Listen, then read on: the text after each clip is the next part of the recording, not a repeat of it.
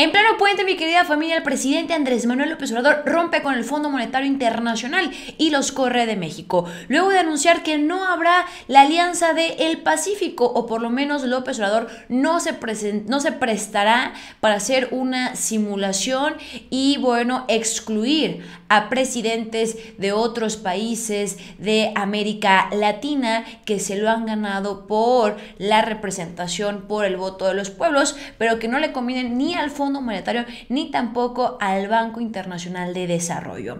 Así que si estás listo, arrancamos. Nunca nadie se había atrevido a esto y dice así.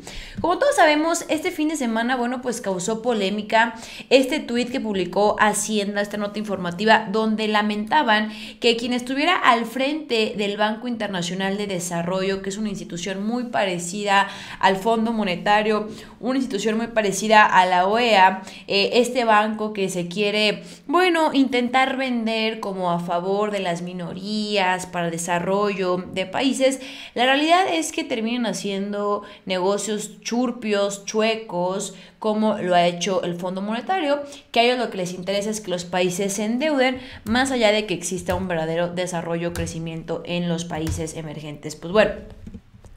Tenemos que, bueno, eh, la misma, en la misma Secretaría de Hacienda puso, lamentamos que las elecciones del BID continúen la política de más de lo mismo, es decir, neoliberal.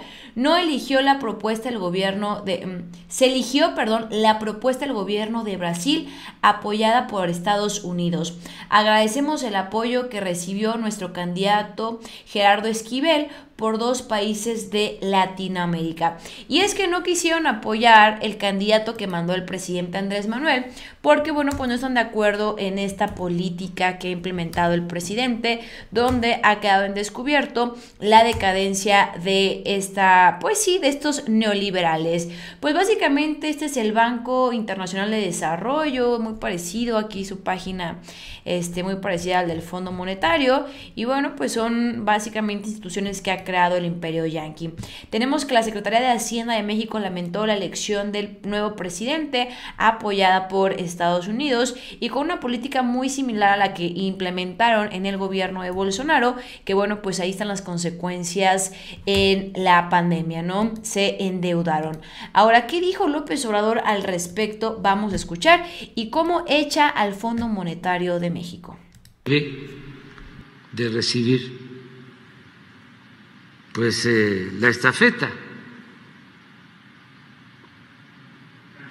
Voy a tener reuniones bilaterales, si viene el presidente de Chile,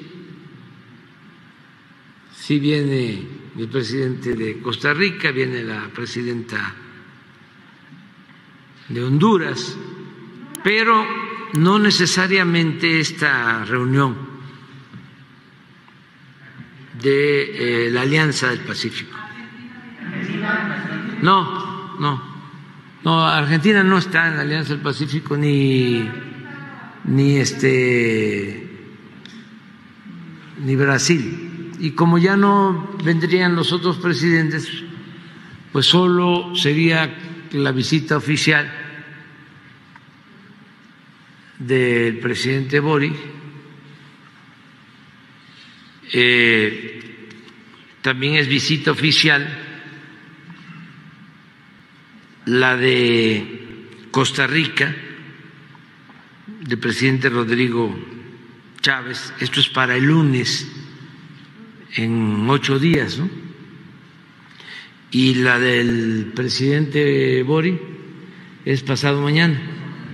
Sí. Eh, sería el jueves.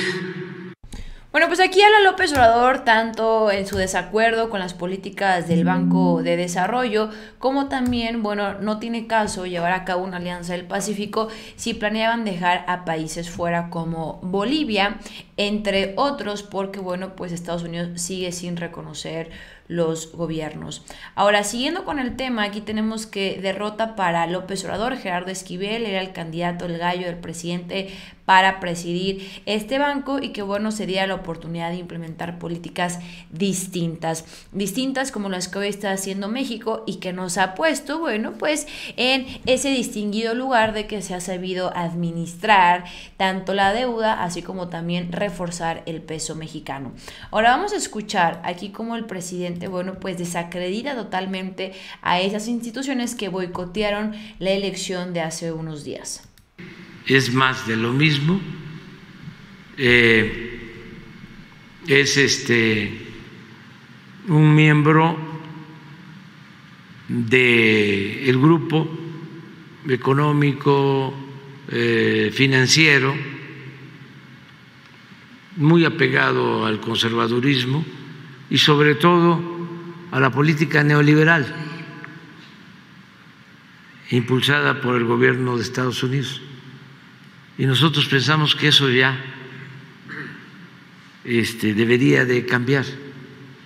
No hay ninguna esperanza para los pueblos de América Latina, del Caribe, si eh, continúan estos organismos internacionales.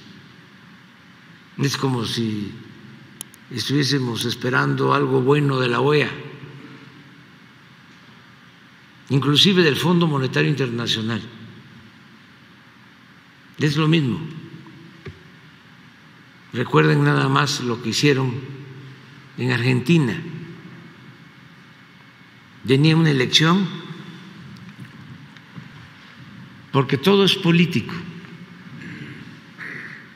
Y empezaron a darle dinero a Macri, porque querían que se religiera.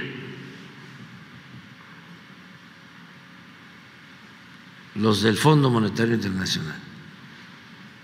Y le dieron, le dieron, le dieron, hasta que endeudaron por completo a Argentina. Y luego resulta que no gana Macri y le dejan la deuda a Alberto Fernández y ya no hay ninguna consideración. La culpa ya la tiene el gobierno de Argentina.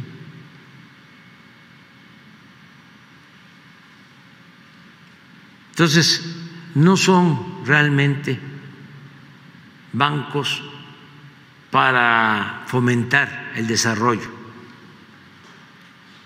de los pueblos de América Latina y del Caribe, sobre todo de la gente más necesitada. Son bancos básicamente para rescatar eh, a los potentados. Así del corte de el rescate este porfirista al que hice mención, o del FOAPROA, Pues bueno, básicamente así el presidente López Obrador echa a estas instituciones diciendo que él no se va a prestar a estos eventos y los van a seguir manipulando, van a seguir dejando fuera a presidentes de izquierda porque al final los que mandan o los que los eligen deben de ser el pueblo y no estas instituciones que repito, lejos de sumar a buscar un desarrollo, un crecimiento, eh, podríamos decirlo orgánico, eh, donde se ayude a las minorías, pues es todo lo contrario son los reflejos o son ellos quienes traen las ideas de eh, robos como el FOAPROA. Familia, yo soy Juncal, no olvides compartir este video y nos vemos hasta la próxima. Adiós.